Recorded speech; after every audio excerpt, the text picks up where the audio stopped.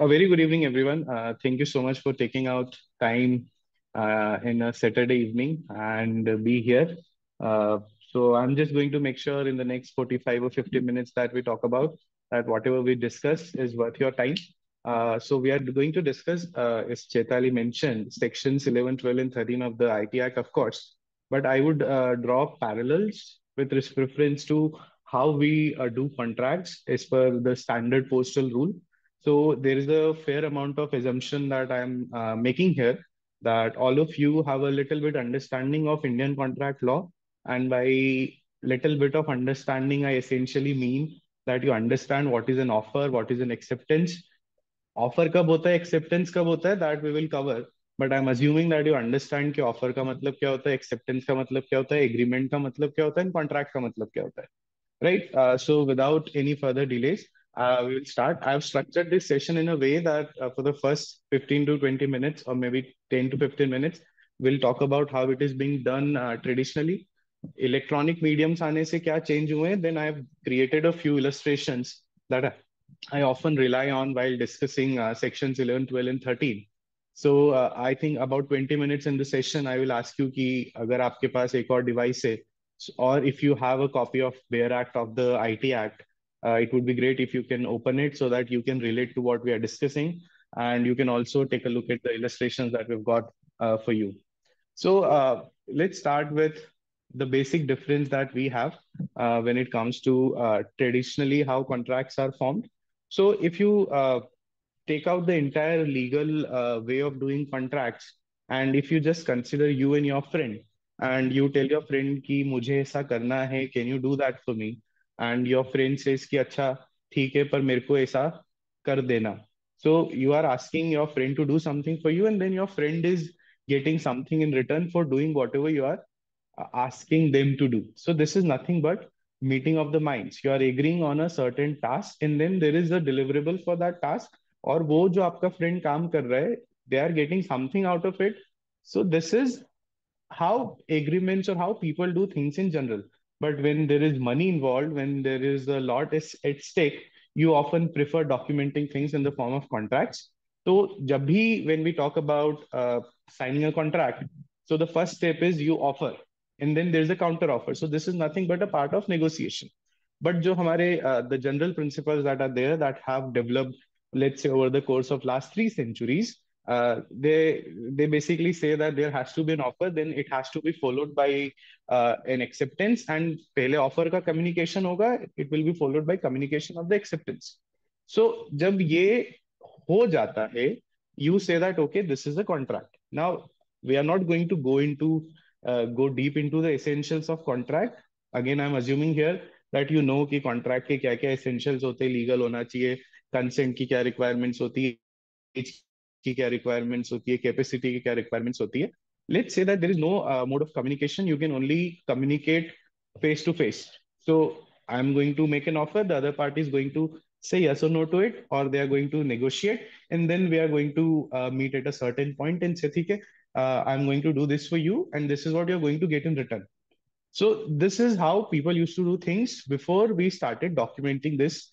in the form of a paper entirely oral communication and there was no problem as such in the, not a major problem as such that ki acceptance kab hua hai offer kab aaya tha पर जैसे जैसे the global community started realizing that now we can communicate over large distances let's say that i'm sitting uh, here in indore and uh, somebody someone from uh, someone out of the attendees is in mumbai so you can uh, literally hear me with I, I don't think more than a couple of seconds differences so the communication systems started developing. And one of the earliest communi- communication systems we had was in the form of your postal system that you can post something, the other party would receive it.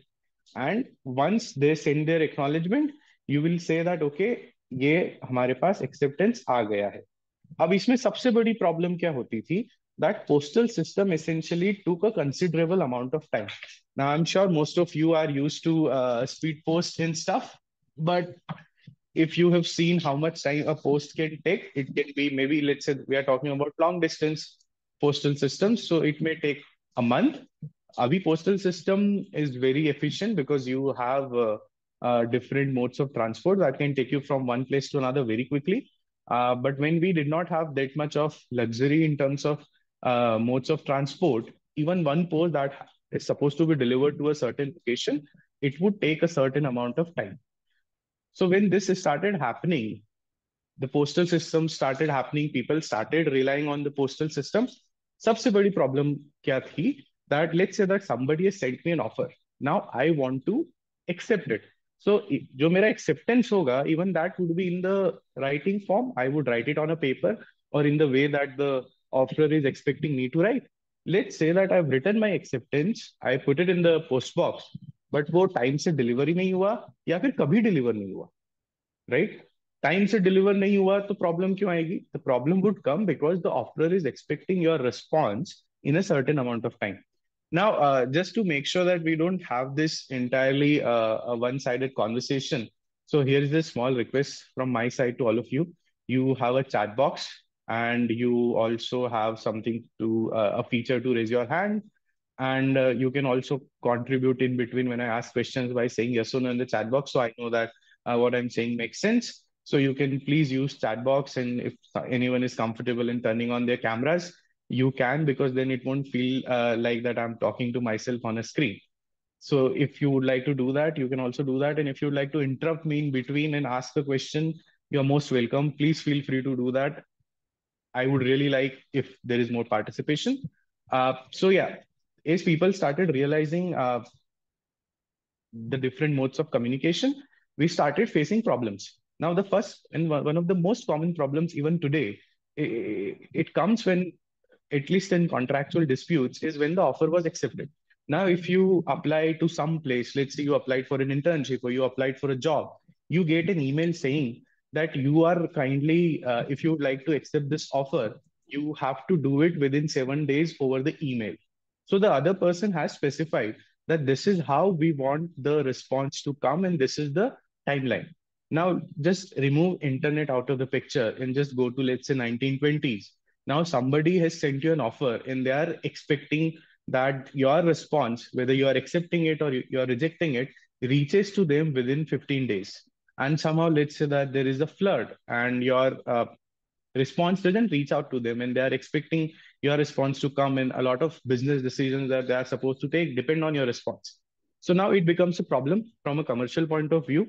So this problem started happening and then cases started com- coming up and when you have a lot of cases coming up uh, you have to develop a certain rule so that that rule gets applied to a lot of cases and you only need to deal with exceptions so uh, we see uh, uh commonly we call it as the postal box rule or the standard postal rule or the mailbox rule so there are so many different names for it so what does this rule say this rule basically says that we are going to consider that an acceptance is going to get communicated when you enter your acceptance in the postal system.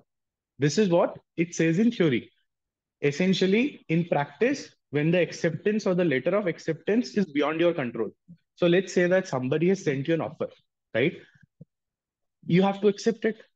And acceptance will be deemed to take place when it goes out of your control or when you enter it into the postal system if you talk about this thing in practical sense, how it would be implemented or how it would be considered in practical sense, it essentially means that when you go to the post office and give your letter, or if there's a post box, you put your letter in that post box. That would be considered your acceptance. This is the traditional or the standard mailbox rule that we have had in place for so many years. Now, after the postal system, the next communication system we had was telegram Telegram apparently simplified and to an extent cut down the total time that would be taken. Then after Telegram, we had communication systems like fax, sorry, telephones, emails.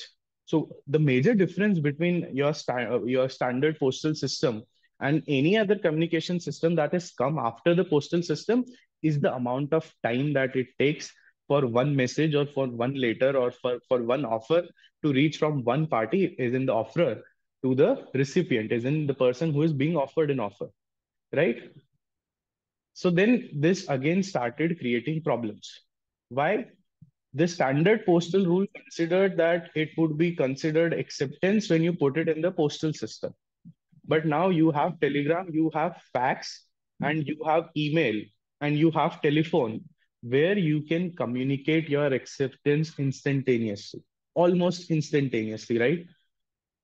Now, what if the communication channel breaks in between? You're talking to somebody on the phone and your device uh, loses out on the network. What would happen? So the postal box rule uh, essentially considered that it would take time for your acceptance to reach. So instead of considering when your acceptance is actually delivered, you will consider that acceptance happens when you put it in the postal system. In terms of judicial precedents and judicial developments, as you can see on your screen, this came in the case of Adam versus Lindsell and 1818, the case law is from 1880. And uh, the issue was very simple that both the parties communicated in the form of postal letters and uh, the determination of when the acceptance happened was something that had to be decided by the court.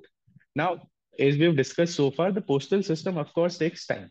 So the court essentially, if you see the last bullet point that is in italics, this is what the court said that where the circumstances are such that it must have been within the contemplation of the parties that, according to the ordinary usage of mankind, the post might be used as a means of communicating the acceptance of an offer. The acceptance is complete when it is posted. This is your standard postal rule or the mailbox rule. And apparently, this is this simple concept has helped in uh, resolving a lot of contractual disputes and but it faced a lot of challenges when your electronic contracts or when your contracts that happened over instantaneous mode of communication started taking place now, there are some researchers and some jurists that say that the mailbox rule is only an exception, but there then there are certain considerations that come even in instantaneous mode.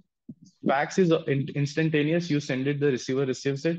Same goes for a telephone or a voice call or a WhatsApp call, even for that case, or a or an online meeting, just like we're having right now. But how we use email today and how we used to use email 20 years ago, it there is a slight difference, right? Now, I'm not sure how many of you are aware of this or not. There are basically two ways of how email systems work. One where everything is saved, all the emails are saved on your local device, and the other one where all the emails are saved on the server and uh, they only get loaded to your system when you open the mailbox. For example, if you don't open your mailbox on a browser, just let, let's just take your phone and notifications on your phone out of the picture. So you won't get to see an email unless you open your mailbox, right? So this again started challenging the standard postal rule. Now, there have been so many justifications that uh, email is an instantaneous mode, etc., etc. But the big, the a very good defense against this have been that I'm not going to know if I've received an email unless I open it, right? If you consider this from the perspective of the postal system, there is one very big difference. Let's say that somebody has posted it and the postman has delivered to your address. It will be considered to be delivered irrespective of whether you open it or not.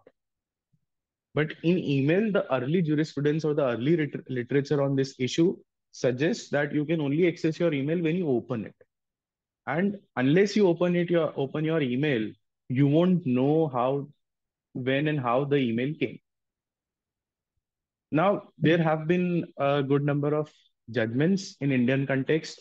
I'm only going to talk about this so that we can trace uh, developments in terms of how the courts dealt with this issue and how section 11 12 and 13 uh, when they came in uh, form and shape in 2000 so we can understand the difference uh, so if you uh, studied contract law, I'm dead sure uh, you've come across this case, uh, Bhagwan Das, Govardhan Das, Kedia versus Girdhari Lal.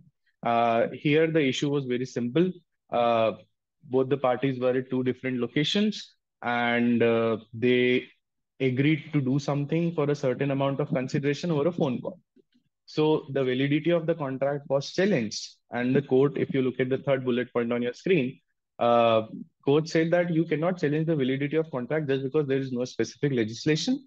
And when when there are two parties agreeing to do a certain thing where the other party is getting some consideration out of it, it would be as valid as a traditional contract. Now, there are a couple of other cases uh, before we finally get on to section 11, 12, and 13, which is uh, this one is from 2010, Trimex versus Vedanta. Now, this was, I think, one of the earliest cases where uh, Indian courts recognized that you can enter into contracts over an email. Now, when IT Act came, it recognized the electronic mode of communication as a valid uh, form of communication and electronic form of contracts as well.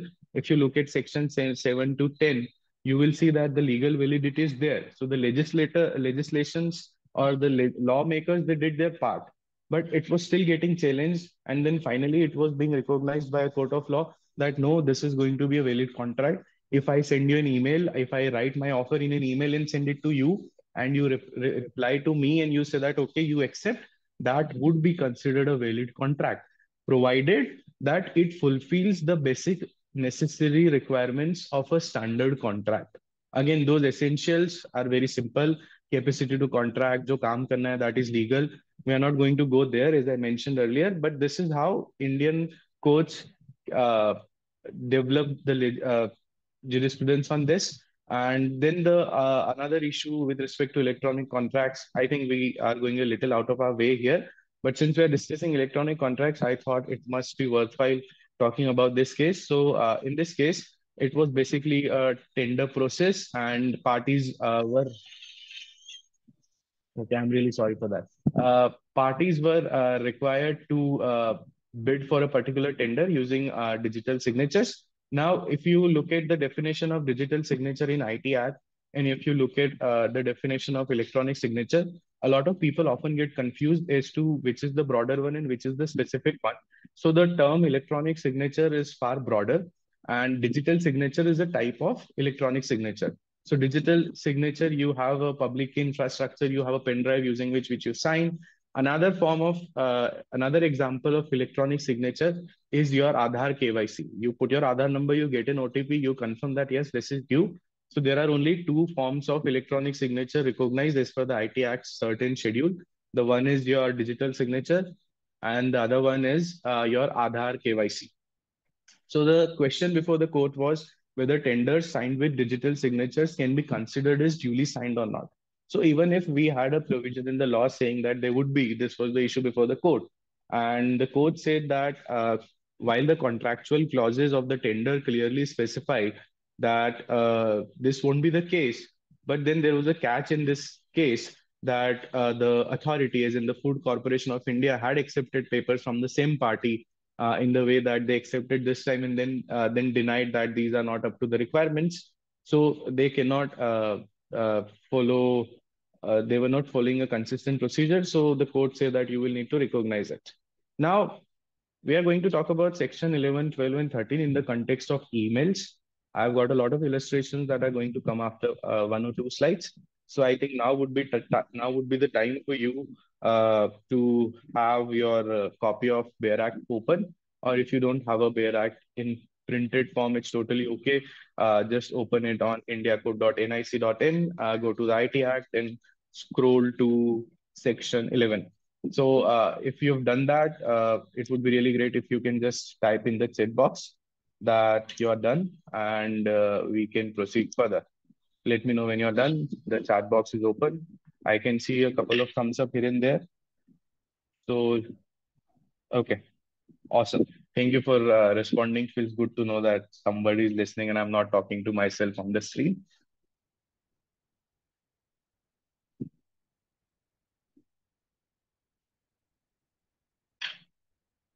All right. Uh, thank you so much for your responses, everyone. Let's uh, go ahead. Yes, somebody has uh, raised the hand. Uh, is there any question that you would want me to answer? Yes, sir. I had a question. Sure. Please. Can you hear me? Yes, yes, I can hear you. Yeah, sir. Uh, in the in the previous uh, one of the previous slides, you mentioned that uh, uh, your regular email notifications, which is saved in the server or the uh, or your mobile phone, uh, put a question on the standard postal rule. Can you explain Yeah. that once? Okay, so the postal rule essentially says that the acceptance would happen when you send you put your uh, you you put your letter in the post box, right? This has been the standard rule since it was developed in the early 19th century. Now, when technology developed, you had new forms of communication that were happening almost instantaneously. Let's say fax or your telephone.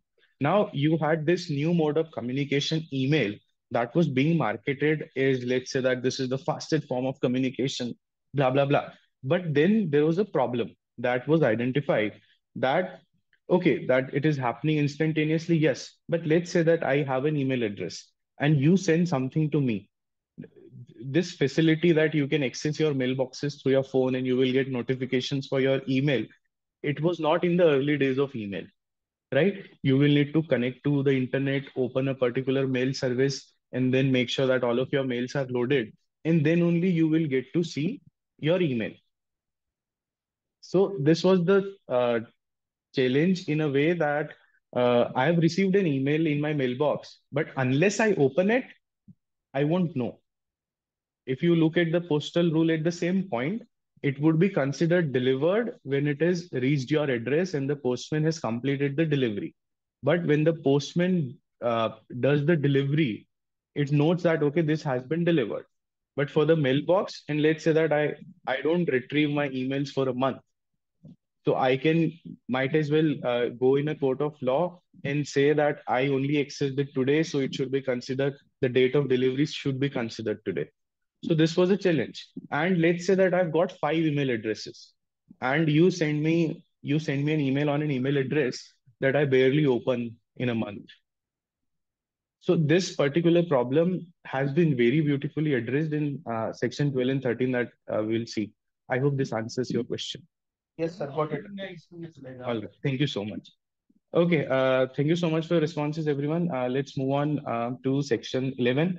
So section 11 is very simple, which is attribution. Uh, attribution is essentially understanding or identifying that who has sent this email or who I'm going to use the word email in place of electronic records so that it, it is easier for all of us to understand and also for the for two more terms that you will get, which is originator and addressee. So in place of originator, we will use the word sender. Addressee, we will use the word receiver. So make sure that uh, you don't get confused. Uh, originator is defined under the IT Act. Addressee is defined under the IT Act. Yeah, originator is somebody who is sending an electronic record and addressee is someone who is receiving an electronic record or who it is addressed to. So in order to keep the discussion simple and make sure all of us understand what I'm talking about, uh, we are going to use the word sender and receiver. So uh, section 11, if you look at section 11, uh, if you want to read it, be my guest. But if you want to uh, understand it simply, I can explain it right here. So section 11, attribution is also defined. So section 11 basically says that uh, a particular piece of email can be attributed to a certain party in three possible situations. First, when the person who's sending the email is saying that I've sent an email, then you will say that, okay, this email has come from this person. Second, when they give permission to another person to send it on their behalf. Uh, would, would anyone like to give an example of this? Yes, sir. If I authorize my PA to send an email on my behalf. Yes, very appropriate. For example, a lot of emails that I have to send from my official email address, I have to dictate it to my junior. So it would be cons- it would not be considered that my junior is sent it. I gave my authority to my junior or my associate to uh, send that email on my behalf. So it would still be attributed to me. Third one, uh, when it was sent by an in information system or an automated system using the name of the sender. Now, I'm sure you would have uh, subscribed to a lot of newspapers. I'm sorry, newsletters that you receive in your email, right? Do you receive emails from your bank giving you offers? Do yes, you sir. receive emails from uh, Flipkart yeah. and Amazon, right? So these emails are automated emails. Nobody is manually sending millions of emails every day. But even when you receive an email, you say that, okay, this has come from Flipkart or this has come from Amazon. So you are attributing it to the originator, even though the originator slash sender used an automated program to do it. So when you have to identify that who is the person who has sent this, there are three possible situations. जब उस व्यक्ति ने खुद ही ने भेजा है दूसरा somebody on behalf of that person has sent it and third when they've used an automated program to do it एक बहुत सिंपल सा ऑटोमेशन का एग्जांपल है scheduling how many of you have used uh, scheduling on your emails a lot of times it happens that I, I draft an email at 2 a.m. but Yes, I know that using. it doesn't look good to send this email at 2 a.m. So I will schedule it for 9 a.m. Right? So what I'm doing is I'm using a feature that is going to automate that sending at 9 a.m. Right? So these are three possibilities where we can attribute it to the sender. Are we clear till this point? Okay. Now section 12 and 13 is where it gets even more interesting. Uh, so I'm going to show you an, uh, an illustration in front of your screen. And I would quickly ask you to take a look at subsection 1 of section 12. Right? So now this is talking about acknowledgement. Acknowledgement is essentially sender को ये पता चलना कि जो उसने भेजा है वो रिसीवर के पास पहुँच गया है this is acknowledgement. So acknowledgement of receipt. So section 12 subsection 1 has two clauses. First, any communication by the addressee, automated or otherwise, and any conduct. So if you take a look at section 12 subsection 1, and I'm, I'm using this illustration to make it simpler, even for me as well as for you. So the sender, if you take a look at this message, can you see this message? this is my job offer to you. Let me know if you accept. Right? So the sender is saying that this is my job offer to you. Let me know if you accept. Now, in this situation, the receiver can send a send an automated acknowledgement or send something like, okay, I accept your offer. Or if you take a look at clause B here, it says any conduct. I will give you a very interesting example somebody applies for an internship at my firm. I give them an offer and I tell them that, okay, see, this is my offer to you. And we are supposed to start 8, uh, 10 a.m. on 28th of May.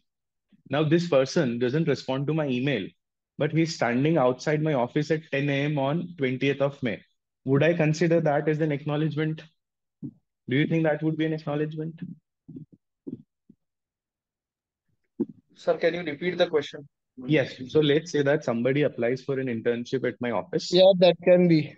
Right. So somebody applies for an internship at my office. I send them an email offering them an internship at my office. But this person doesn't respond to me. But he reports on the day that I say that, okay, we are going to start on 20th at 10 a.m. And this person is standing outside my office. Even in that case, जब sender ने नहीं बोला है कि उसको acknowledgement कैसे चाहिए तो जो रिसीवर है उसके पास मल्टीपल ऑप्शन से वो एक्नॉलेजमेंट की रिसीट देने के which is given in clause A in clause B of section twelve subsection one तो क्लॉज ए एसेंशियली से या तो वो ऑटोमेटेड हो सकता है या मैनुअल आप रिस्पॉन्स दो या फिर दूसरा you do it by conduct और you do it by performance now moving further if you take a look at section 12 subsection 2 sir I, I had a query here sir sure go ahead Yeah, so uh, if you have given uh, your acceptance to that person, but the person has not confirmed uh, your acceptance, and uh, directly he comes on the uh, internship day that uh, I am that, and by that conduct we are assuming that he has accepted it. But what if you? but what if the sender in the meantime re revokes the original offer given to that person and says gives gives it to someone else, and the second person accepts it, accepts it on email? Very, so whether, very good question uh, just give yeah. me, may, may, may I know your good name? Uh, Abhigyan Singh, sir. Abhigyan, Abhigyan, just give me five minutes. I'm going to answer this question. Just let me be done with subsection 2 and subsection 3, and then we'll talk about what is the right way to uh, do this acknowledgement and receipt of acknowledgement. Right? So section 12, yes, subsection 2 says that sender is specifying acknowledgement usko kaise chahiye. Right? So if you look at the message on your screen that the sender is sending, this is my job offer to you Please send your acknowledgement as a response to this email within seven days Otherwise, the offer stands cancelled. Right? If you look at the previous illustration, sender ने सिर्फ job offer भेजा है. Sender did not mention how they are expecting the response and what is the time frame they are expecting the response. But in section 12, subsection 2, the sender is specifying that they want a response as a response to this and this email within this many days and this specific duration. And if you don't respond, the offer will stand cancelled. Right? So the, the first, we saw the first way of doing the acknowledgements. This is the second way of doing the acknowledgements is given in subsection 2 of section 12. Now let's move on to the third one. So this is coming from subsection 3. Subsection 3 may we are talking about a situation where the senders just sends an offer without expecting or without specifying how they want the acknowledgement. So the first message from the sender is, this is my job offer to you. Let me know if you accept it. But then the receiver doesn't respond in any way. So the sender then sends another email in the form of a reminder that, hi, I sent you an offer. Please send your acknowledgement within seven days. Otherwise, the offer stands cancelled. Now, this situation is covered in subsection 3 of section 12, where pehle, in the first in instance, the sender did not specify. But after the sender remembers that they have to do this so that they don't run into trouble, then they specify that I, I had sent you an offer. Please accept within seven days. Otherwise, the offer will stand cancelled. Right? So these are three possible situations. First, where the sender is not specifying how they want an acknowledgement. Second, sender is specifying the duration and the manner in which they want an acknowledgement. Third, in the first instance, they don't, but then they specify. So subsection 3 essentially says that when the sender has specified, even though they didn't do it in the first case, और the first instance it would be considered कि जो बाद में specification हुआ है आपको वैसे acknowledgement भेजना है आप ये डिफेंस नहीं ले सकते हो कि उन्होंने तो पहली बार में बताया ही नहीं था now you've gone through all these three situations first second and third. If you are somebody who's going to make an offer to another party out of these three situations which is more appropriate? What would you recommend? What do you think? Excuse me sir. Yeah sure go ahead. Yes ma'am. Uh, sir if uh, the sender sends this message uh, second email uh, after three days uh, from where which date we will consider the seven days seven days will usually seven days start जब दूसरा वाला email भेजा गया है। Okay क्योंकि पहले पहले में कोई भी स्टिपुलेशन नहीं है। तो जब स्टिपुलेट कर दिया है तो या तो सेंडर ऐसा करे कि वो सेवन डेज़ में लिख दे that this would I will also consider those three days that have already gone otherwise जो जनरल प्रिजम्पशन होता है वो ये होता है कि जब से स्पेसिफाई किया है तब से दिन गिनना चालू होंगे। Okay thank you Sir, uh, may I ask you a question? Sure sure please go ahead sir अगर टाइम जोन्स अलग हैं देन इन दैट केस मतलब दिल्ली का टाइम जोन माना जाएगा या न्यूजीलैंड का माना जाएगा मतलब वेर एवर जहाँ से सेंडर और भेज रहा है email very interesting question. Uh, I I had this uh, thought process in my head, and I've discussed section 11, 12, and 13 so many times. But I think this is only the second time that I'm asked this question. Vasundhara, can you uh, please wait for this question's response uh, till after we discuss section 13? Sure, sir. And one more thing I wanted Yeah. to ask you. Sir, suppose कोई I give you one example. Suppose there is one edtech company Okay. and वो हमको email भेजती है जो उनका automated system से email generate Yeah. होता है बट ईमेल के अंदर फ्रंट बॉडी में कुछ uh, ज़्यादा टर्म्स एंड कंडीशंस नहीं है बट जब हम लिंक्स uh, पे फर्दर क्लिक करते हैं ईमेल के अंदर फिर उस लिंक में भी लास्ट में उनके कंडीशंस वगैरह मेंशन्ड है, जो कि बेसिकली ब्लाइंड करने के लिए है यूज़र को कि वो कंडीशंस मिस हो जाए डेलिबरेटली इन दैट केस कुछ हो सकता है ऐसे केस में कि आप, आपने रीड तो कर लिया ईमेल बट वो एक्सप्लिसिटली मेंशन नहीं थी टर्म्स एंड कंडीशंस एंड हम चैलेंज कर सके कि ये पर्पसली यूज़र को मतलब it's like hiding the information you are giving but you are still hiding the information Okay. Uh, so, uh, purely from a corporate perspective, uh, this is more of an ethical business practice issue than a legal issue. But if we consider it from a purely legal lens, I think it would be a very long shot. at least from my understanding.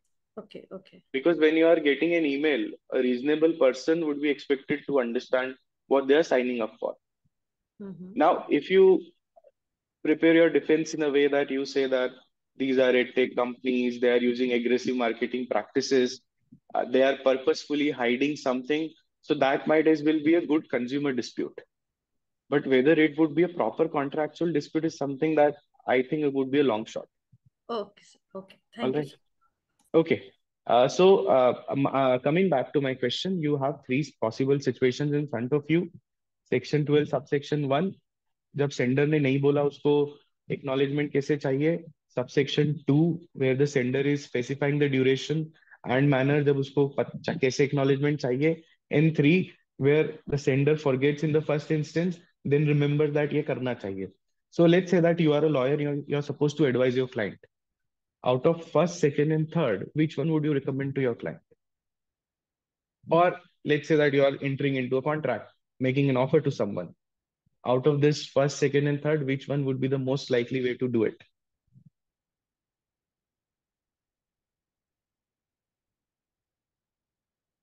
Yes, I, I see a lot of responses coming in.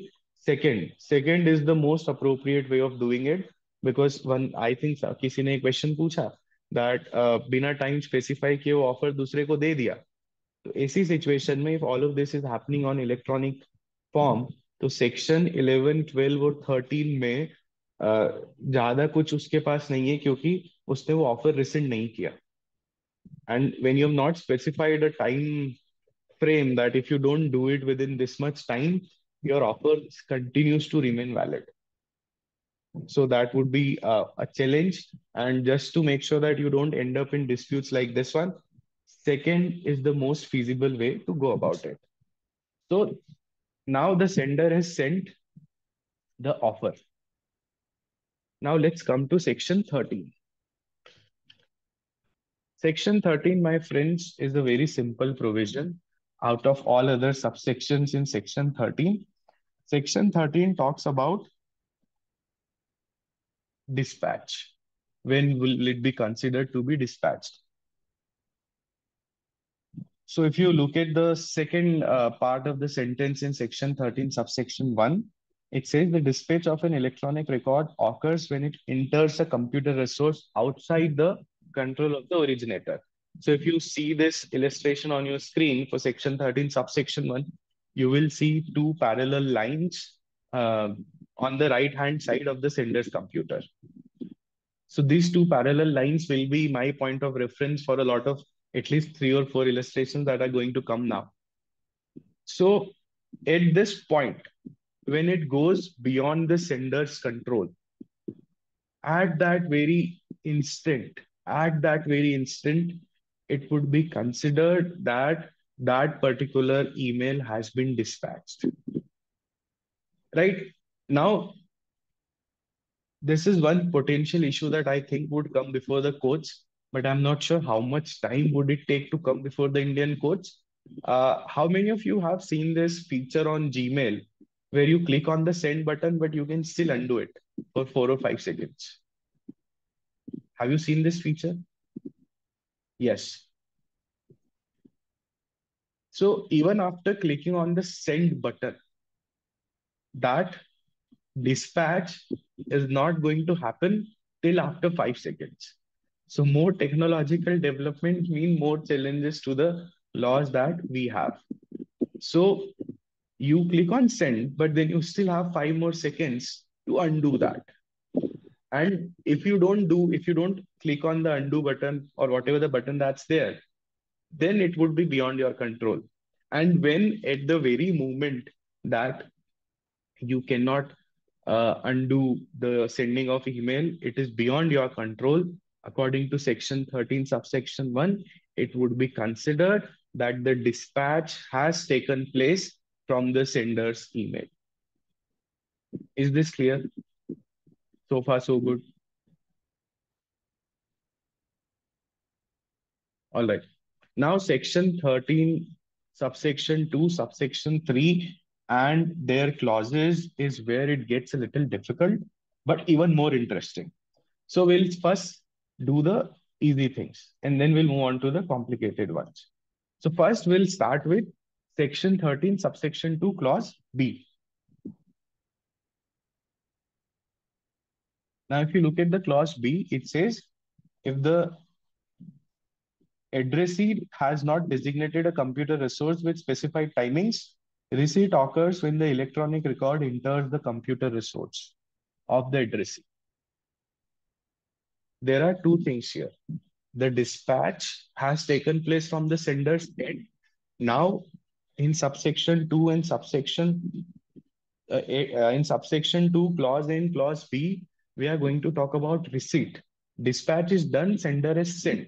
Now, when the receipt is going to happen is illustrated in section 13, subsection 2, clause A, clause B. Clause A has further two subclauses, so two situations, and then clause B. So clause B essentially says there is a concept here called designated email address. जब receiver ने नहीं बताया है कि designated email address कौन सा है at which particular email address they would want the offer to be sent, receipt would be considered when it enters their computer system. Right? So if you see those blue lines, now if you take a look at this email, rajpagari at the rate gmail.com is not my work email. So if somebody sends me an email there and I do not have a designated email address and I have not conveyed my designated email address to them, the moment it enters on my mailbox, it would be considered that I've received it. Right? Now, if you are a little confused here, section uh, clause 1 and clause 1, uh, subclause 1 of clause A is going to make this easier for you. So uh, if you look at subclause 1 of clause A, it says receipt occurs at the time when the electronic record enters the designated computer resource.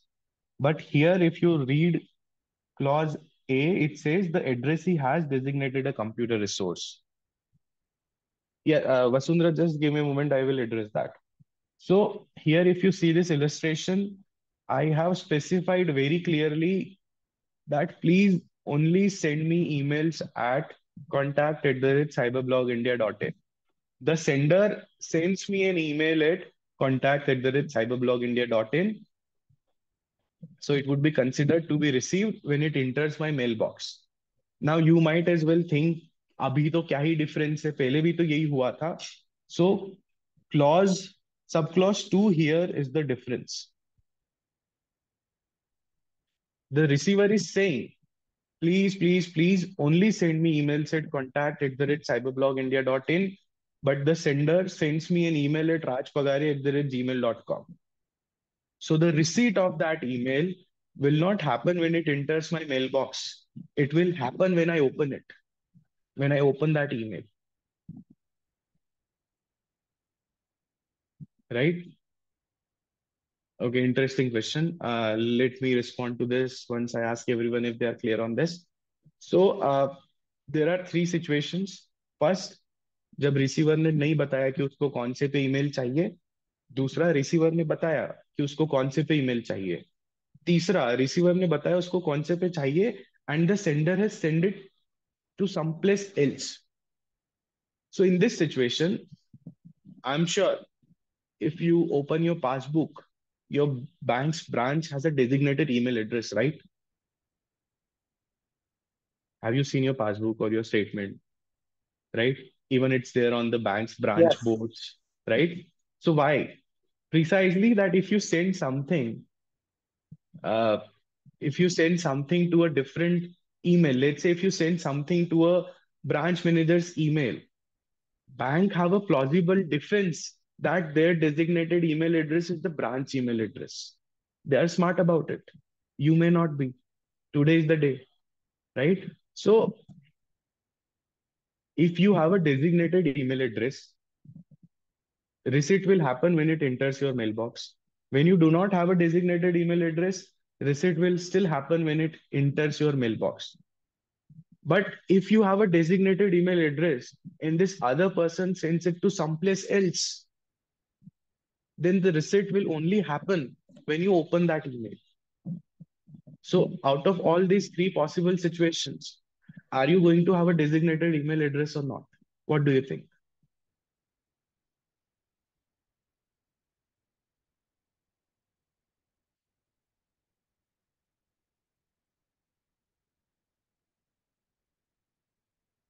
No, I'm asking, uh, are you going to have a designated email address? See, designate having the benefit of having a designated email address is that if somebody sends you an email at an address that you have not specified, you have a defense that the receipt only happened when you opened it. Okay, uh, now that I see a few yes, that's a relief. Uh, I have a few questions that I've received in person uh, on DM as well as on the chat box. So one, this is from Deepika. Uh, what if the receiver has provided two email and the email is uh, sent on only one? Can the receiver dispute that he has not received one in one on his another email? So will not accept. Now, see, issues like this are yet to come before Indian courts, and we are yet to see a constitutional court ruling on this. But from my understanding, if somebody is saying that uh, send me an email on this and mark me a CC, I would consider both of these email addresses. I will deem it to be a part of designated email address. That if I'm specifying that aise aise bhejo, aise bhejo. If I if you're not doing that, I won't consider the receipt. From my understanding and interpretation of section 11, 12, and 13.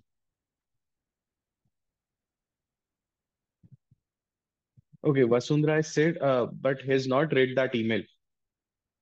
पढ़ा या नहीं पढ़ा does not matter if you do not designated email if you have a designated email और वो दूसरे email पे गया है then only it matters if you access the email if you put up your email and you receive their receipt will happen when it enters your mail box नहीं बताया है और आया है तो भी it's going to happen when it enters your mail box but aapne A bataya hai and the email is come at B, then it becomes, then it gives you a little bit of luxury uh, that yes, uh, the receipt will happen when you open the email. Sir, so my friend.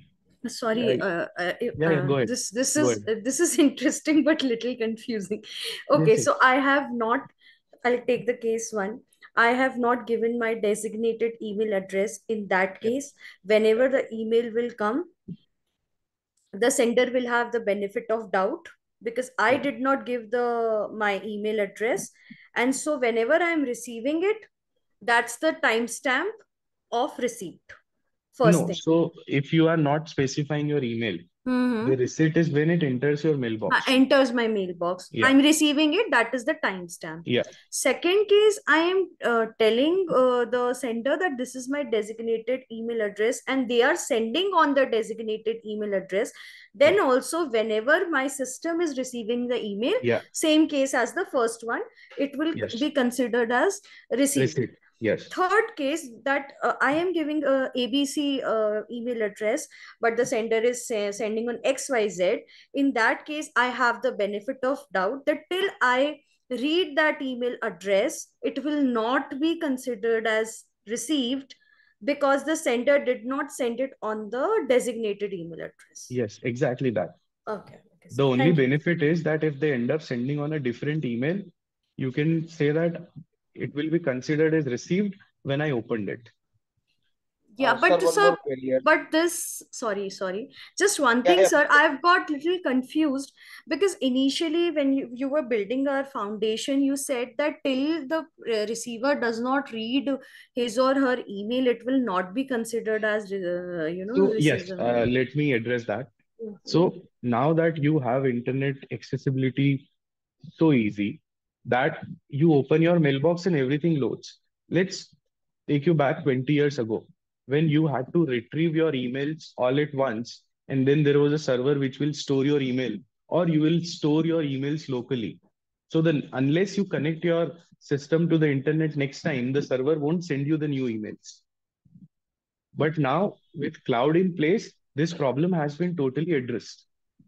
Hmm. So even if you don't open your email, the email is there on your email box, on your Gmail. Right. right? So it is just you have to access it. Uh, also, I think I received one of the questions related to spam, and before I address something else, I would take it up. That spam is a problem that has become so big of a problem now.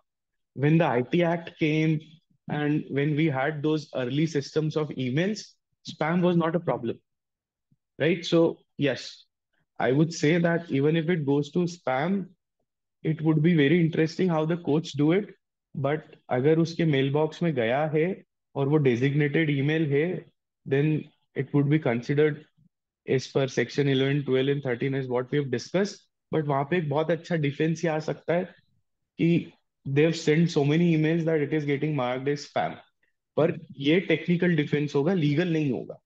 तो courts कैसे deal करती है? On this will be very interesting sir, but uh, the person is not expected to read that spam email, na? Yes वही तो है कि technical defence है।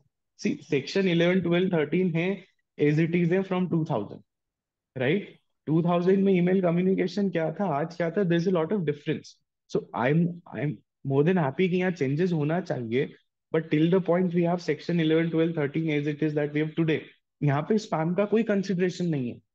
यहाँ पे सेंड करने के बाद हम अंडू कर सकते उसका भी कोई कंसिडरेशन नहीं है। Right I had a very interesting case I would like to share I think I will take five more minutes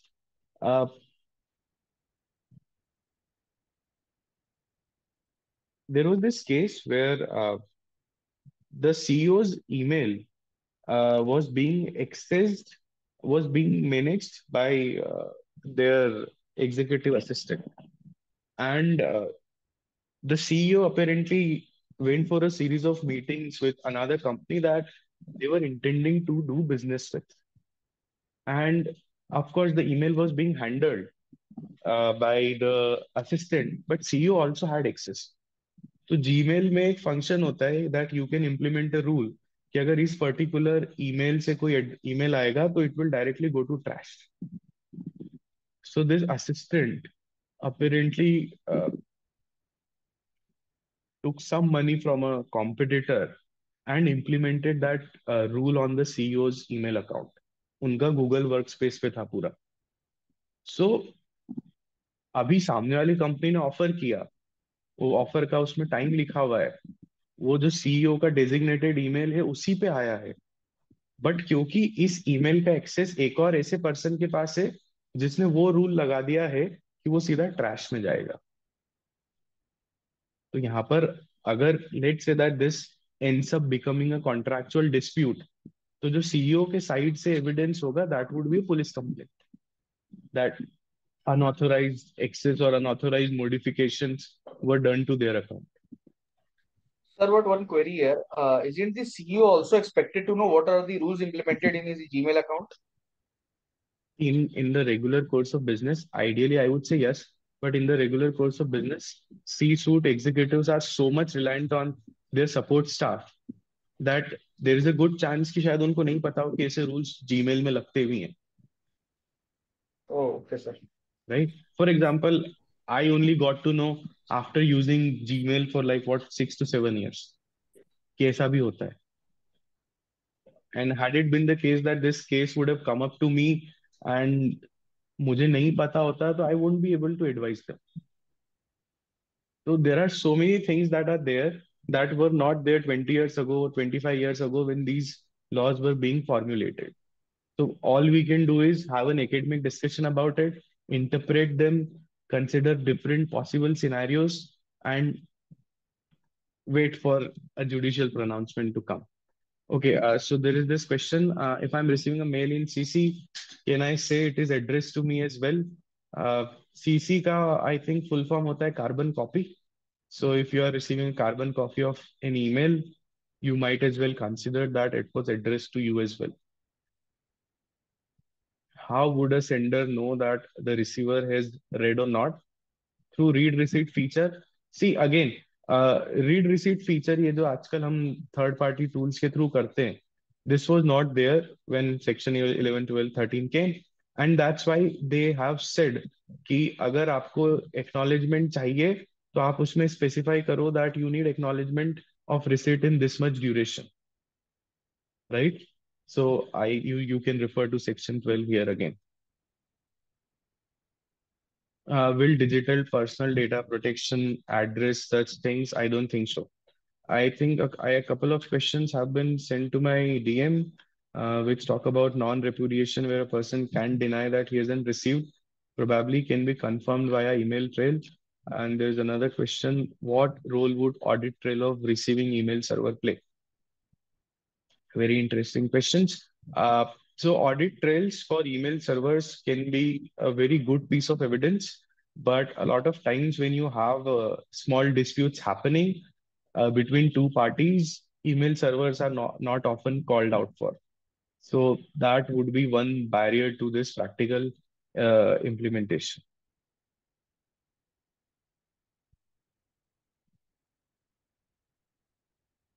ABC and XYZ companies entered into a contract with certain terms and conditions on email. Okay. The contract was negotiated and agreed upon solely by the sales manager from XYZ company. Okay. After some time, the sales manager's line manager head is not willing to honor the agreed upon contract terms and condition. From a legal point of view, what can ABC uh, do in this situation. So uh, legally, if the sales manager, yes, the sales manager, if the sales manager was authorized on behalf of the company to sign this agreement, this would be a valid agreement. And if this is a valid agreement, it does not matter whether it happened on email or it happened on paper. If it is a valid agreement and XYZ company is not uh, going to honor their part of the agreement, ABC can, of course, file for non-performance of this particular contract or whatever uh, the requirements that were there. I hope I've answered all the questions. Do we have any other questions?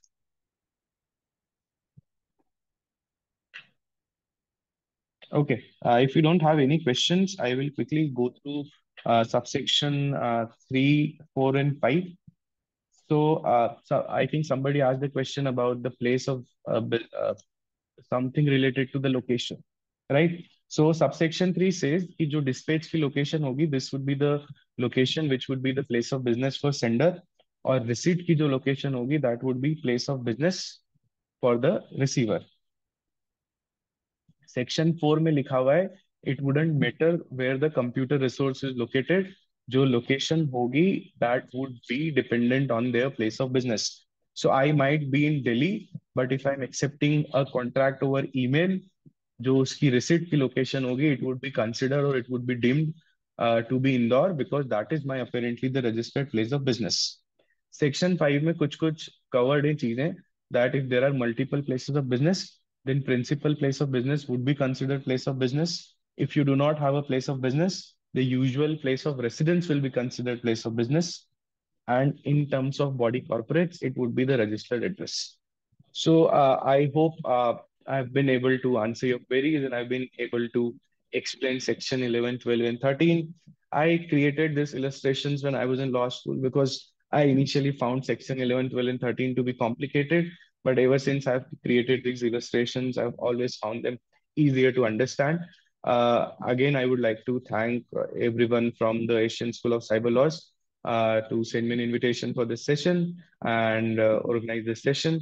And I would like to thank, more importantly, all of you uh, to take out time on a Saturday evening uh, to attend this question, attend this session. And you, all of all of you, have been really great at being responsive and asking me questions. And I really liked talking about this today because I was asked a lot of questions.